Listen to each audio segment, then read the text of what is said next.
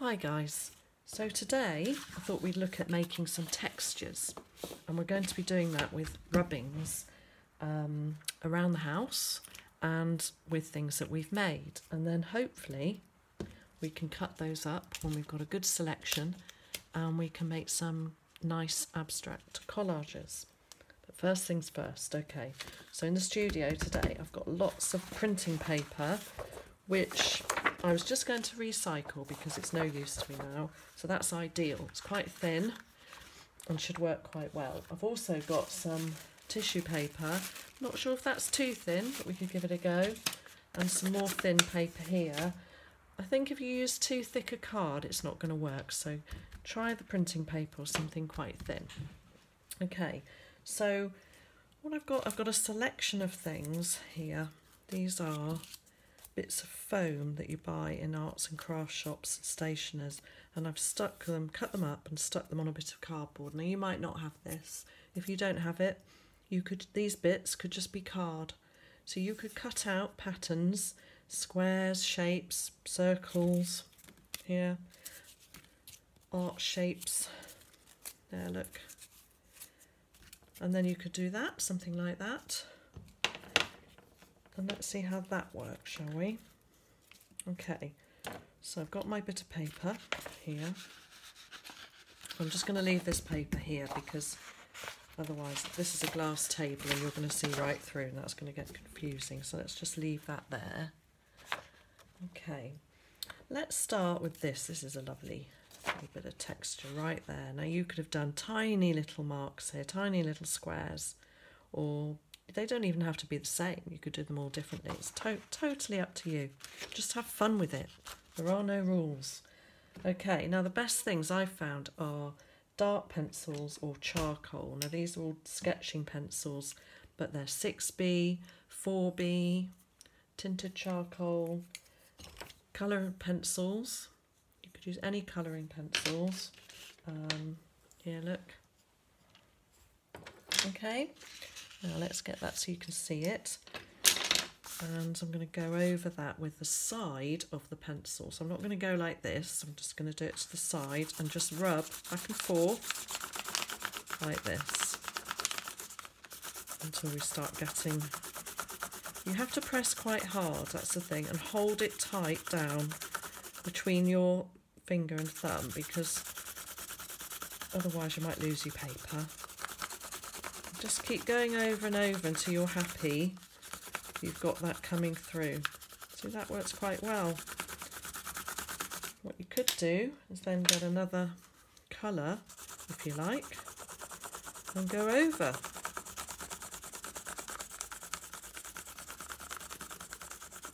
Or you could have just used that colour. So if I move it along a bit, you just wanted that colour coming through,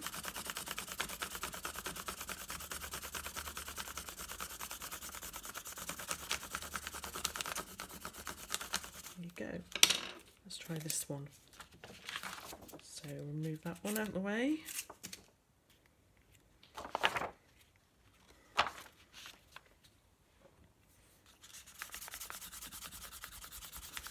Hold it tight.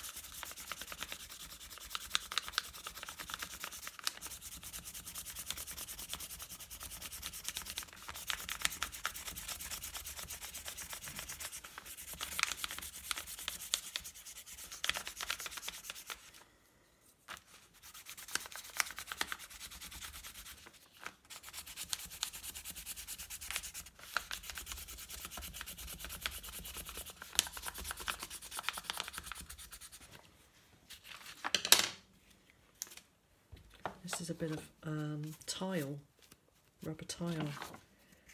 I mean, actually, you could just go around your house, see what you've got, and try to use different colours because if we're going to cut it all up and make a collage from it, we don't want it all to be the same.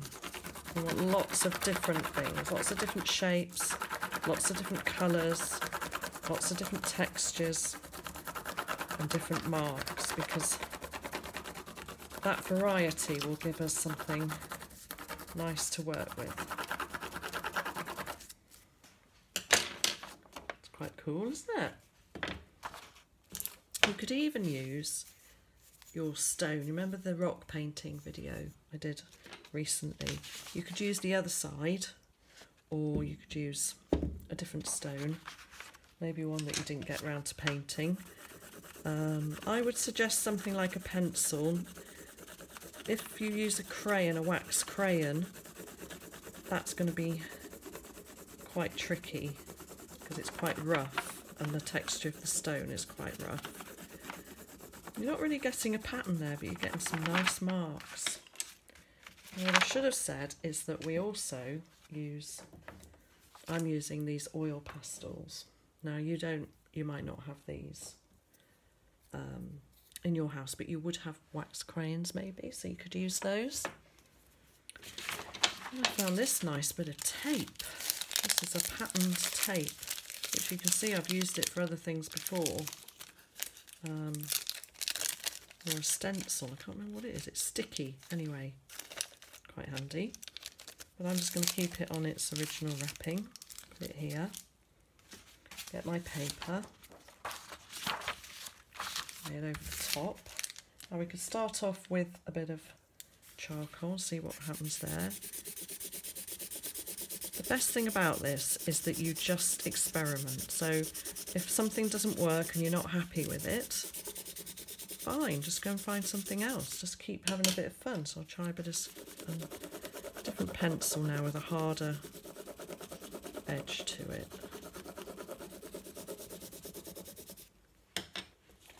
And then eventually you'll find you will come up with something that will work for you. Now that's coming up much better for me. Finding that I have to press quite hard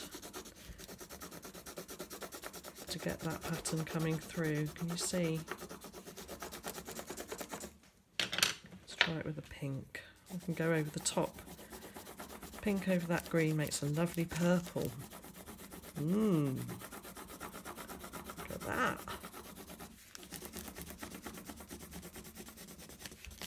So don't give up just try different things, and that's all part of the exploration, part of the fun.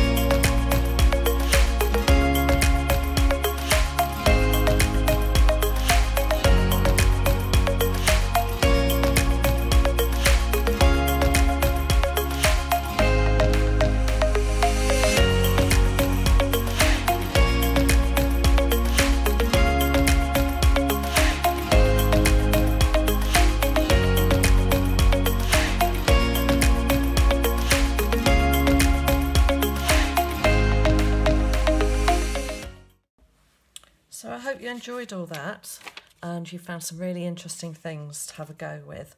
I've now put all those things inside with me and I've started cutting them up into interesting shapes. And what I've done is I've got some paper and made lots of squares and I've torn the edges of mine. You don't have to do that, but I quite like that.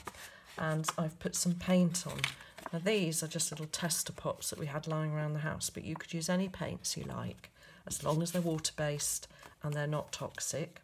And then you can pick any colour. So I've got some oranges, nice green. Look at that, and look at this. Lovely blue. And then I've got some kind of muted colours, some greys. And I'm hoping that I can then lay out some of these shapes I've cut out onto these pieces here. So what I do like is this one. Now this was, um, trying to remember, I think that was on a mat or a cheese grater. Can't remember now. Um, but got that lovely texture and I've cut out and made a rainbow because I did it in lots of different colours. So I know some of you would have put rainbows in your window, which is fab. And I thought this lovely blue would really set it off because they're quite pastely, those colours. So I'm just going to lay them out and hopefully you'll do the same and just have a play around with your different shapes. So I may now, I quite like these kind of vessel shapes, um, like cups and vases and things, but you can do what you like. It's what you're drawn to really. Um, you might just want to cut out circles, so I could use this cut out circles with that. Um, here's another one. I could do it with a rainbow, so I could just make a rainbow shape here, cut it out. Um, the shoe idea was fantastic. I really enjoyed that one. Um, I wonder if some of you have done that with the backs of your trainers that were quite clean, I hope, not too dirty underneath. Um, so that would look quite cool. Um, I know at school some of the children had drawn faces and then cut out these and made ties um, and placed them over the top. That looked quite cool as well. So maybe we'll have a go at that. Let's see how we get on.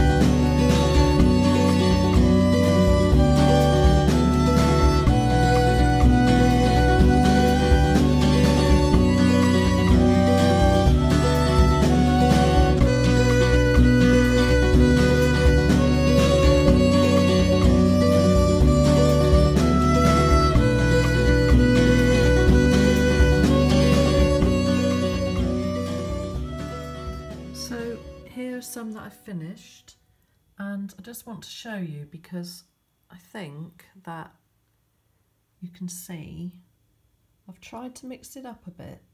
There's a little bird there. So we're using different marks, different colours and different shapes. So have a go. I think I really like that rainbow one.